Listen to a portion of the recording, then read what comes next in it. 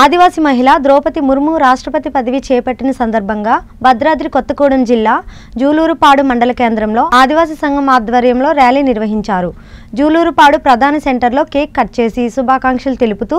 సంబరాలు జరుపుకున్నారు. అనంతరం కొమరం భీం విగ్రహానికి భూమి పూజ నిర్వహించారు.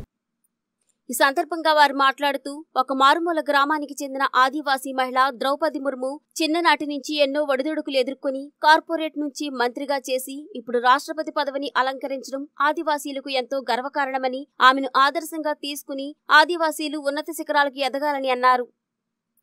జులిపాడు మండల వాస్తవ్యురాల్ని నేను భారతీయ జనతా పార్టీ మహిళా మోర్చా ఖమ్మం జిల్లా అధ్యక్షురాల్ని. మరి ఈరోజు ప్రపంచంలోని అతిపెద్ద పార్టీ అయినటువంటి ఎన్డీఏ ప్రభుత్వం ఈరోజు ముర్ము గారిని రాష్ట్రపతి అభ్యర్థిగా ప్రకటించడం ద్వారా దేశంలో ఉన్నటువంటి అన్ని పార్టీల వాళ్ళు ఏక ముర్ము గారిని అట్టడి వర్గాల నుంచి వచ్చినటువంటి ఆమెను గెలిపించి వాళ్ళ రాష్ట్రపతిని చేసినందుకు ముందుగా అందరికీ ధన్యవాదాలు తెలియజేస్తూ మోడీ గారికి కూడా ధన్యవాదాలు తెలియజేస్తా ఉన్నాము మరి ఆ రోజు వరకు కూడా ముర్ము గారు అంటే కూడా ఎవరికి తెలియదు కానీ ఇవాళ ఆవిడ జీవితం కూడా పుస్తకం లాగా అందరికీ ఒక ఆదర్శవంత రాయురాలైనటువంటి ఆమె చరిత్రని చూసుకున్నట్లయితే చిన్నతనంలోనే ఆమె అసలు పాఠశాలకి వెళ్ళి ఆమె హై స్కూల్ స్టడీస్ కూడా పూర్తి చేస్తానో లేదో అన్నటువంటి పరిస్థితి నుండి బిఏని కంప్లీట్ చేసి మరి ఒక కార్పొరేటర్ స్థాయి నుండి ఒక ఎమ్మెల్యేగా మంత్రిగా చేసి మరి జార్ఖండ్కి పూర్తి కాల గవర్నర్గా కూడా విజయవంతంగా ఆమె యొక్క పదవీ కాలాన్ని పూర్తి చేసుకుని ఈరోజు రాష్ట్రపతిగా అయ్యారు. ఆ కాలంలో ఆమె ఎదుర్కొన్నటువంటి సమస్యలు భర్తను కోల్పోయి ఇద్దరు కు- కుమారులు కూడా కోల్పోయినా కూడా ఎక్కడ ఆత్మ ఆత్మస్థైర్యాన్ని కోల్పోకుండా ముందుకు సాగుతూ ఆమె ప్రజల ఆ, ప్రజల సేవతోనే ఆమె యొక్క జీవితాన్ని ఆ, ప్రారంభించి ఈ స్థాయికి వచ్చారు కాబట్టి మహిళలు మరీ ముఖ్యంగా ఆదివాసీ మహిళలు కానివ్వండి దేశంలో ఉన్నటువంటి అందరూ మహిళలు కూడా ఆమె యొక్క జీవితాన్ని ఆదర్శంగా తీసుకొని మహిళలందరూ కూడా ముందుకు రావాలి. అలాగే మా ఆదివాసీ సమాజంలో కూడా మేము ఎదుర్కొంటున్నటువంటి ఎన్నో రాజ్యాంగపరమైనటువంటి హక్కులు చట్టాలు ఉన్నా కూడా ఇప్పటి వరకు దాన్ని ఇంప్లిమెంట్ చేసే నాయకులు లేక ఎన్నో కష్టాలు పడుతున్నాం. ఇవాళ ఆమె రావడం మా జీవితం ఒక శుభ సూచకంగా మేము భావిస్తూ ఉన్నాము మా జీవితాల్లో ఒక నూతన వెలుగు వస్తుందని మేము ఆశిస్తూ ఆమెకి మరొకసారి ధన్యవాదాలు శుభాకాంక్షలు తెలియజేస్తున్నాము నాకు ఈ అవకాశం ఇచ్చినటువంటి కొమరం భీం ఫౌండేషన్ వారికి కూడా ధన్యవాదాలు తెలియజేస్తాము బెల్లం నరసింహారావు ద్వారా మరి ఈరోజు పదిహేనవ రాష్ట్రపతిగా ద్రౌపది ముర్ము గారిని మరి బీజేపీ ప్రభుత్వం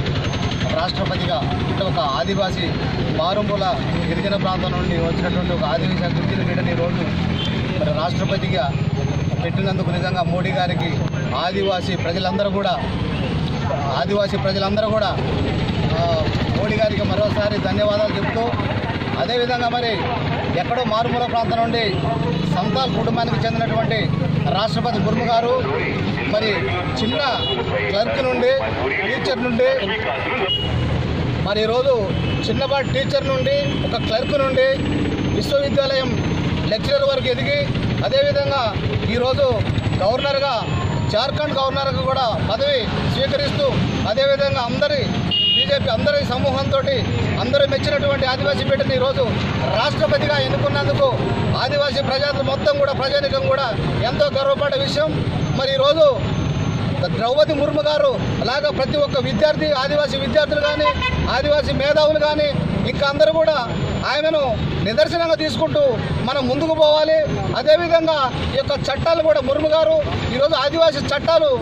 పేపర్లకే పరిమితం అయిపోయినాయి. మరి చట్టాలు నిర్వీర్యమయ్యే పరిస్థితి ఉంది. ప్రతి చట్టాన్ని కూడా ఉద్యోగస్తులు కానీ రాజకీయ నాయకులు కానీ దొంగలో దొక్కుతున్నారు మరి. ఈరోజు ఏజెన్సీ చట్టాలను కూడా పకడ్బందీగా అమలు చేసి ఏజెన్సీలో విద్యార్థులు కానీ రాజకీయ నాయకులు కానీ ముందుకు తీసుకెళ్ళి ఇక్కడ ప్రభుత్వం కానీ బాగా సపోర్ట్ చేసి ప్రతి ఒక్క విద్యార్థి అంటే ఎడ్యుకేషన్ రూపంలో ముందుకు పంపించి ప్రతి విద్యార్థి కూడా ఉన్నత చదువులు చదివి రాష్ట్రపతి కాకుండా పెద్ద చదువులకు వెళ్ళి ఉన్నతమైన పదవులను చేపట్టాలని చెప్పి మేము డిమాండ్ చేస్తున్నాం. అదేవిధంగా ఆగస్టు తొమ్మిదో తారీఖు మరి ఈరోజు ప్రపంచ ఆదివాసీ దినోత్సవం ఉంది. అదేవిధంగా ఈ ఆ యొక్క దినోత్సవాన్ని పురస్కరించుకొని జులూర్పాల్లో కొమరమ్మి విగ్రహాన్ని కూడా ప్రతిష్టాపన జరుగుతుంది. మరి దీన్ని పురస్కరించుకోవడం ప్రతి ఒక్క ఆదివాసీ బిడ్డ వచ్చి మన యొక్క ప్రపంచ ఆదివాసీ దినోత్సవాన్ని మనం గొప్పగా అంగరంగ వైభవంగా చేసుకోవాలని చెప్పి ఆదివాసీలకు అందరూ కూడా పిలుపునిస్తున్నాం. అదేవిధంగా ప్రతి ఒక్కరు కూడా వచ్చి మన పండుగను మనం అంగరంగ వైభవంగా ప్రతి ఏరియాలో ప్రతి ఊర్లో జల్ జంగిల్ జమీన్ అనే నిదానంతో మనం ముందుకెళ్ళి మన చట్టాలను కాపాడుకోవాలని చెప్పి మరోసారి డిమాండ్ చేస్తున్నాం. అదేవిధంగా విద్యార్థులు పరిషత్తులు కార్మికులు ఉద్యోగులు మేధావులు డిటెక్టివ్స్ కూడా అందరూ కూడా ప్రతి ఒక్కరూ వచ్చి కూడా ఈ యొక్క సభను మనం విద్యావంతం విజయవంతం చేయాలని చెప్పి కోరుకుంటూ మరోసారి డిమాండ్ చేస్తూ